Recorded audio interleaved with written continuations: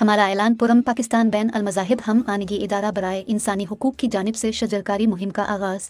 Rural health centre टंडूजाम में पौधे लगाकर किया तफसीत के मुताबिक हमारा ऐलान पुरम पाकिस्तान के मरकजी चेयरमैन खलीफा मोहम्मद तस्लीम Rajput administrators Talib Hussain भगयू M S Anila Soomro doctor Jabbar Baloch ने टंडूजाम रूरल हेल्थ सेंटर में पौधे लगाए खलीफा मोहम्मद।